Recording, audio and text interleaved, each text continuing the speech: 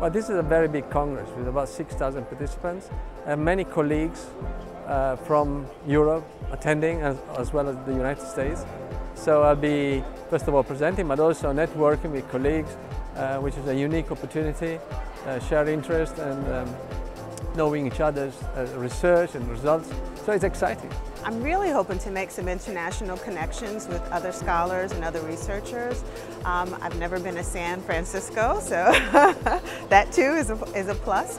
Um, but really building my network of uh, individuals who are working on aging issues. It's my first time, and I, I, hope to expand my knowledge with respect to you know these important topics, um, sarcopenia and frailty in the elderly population.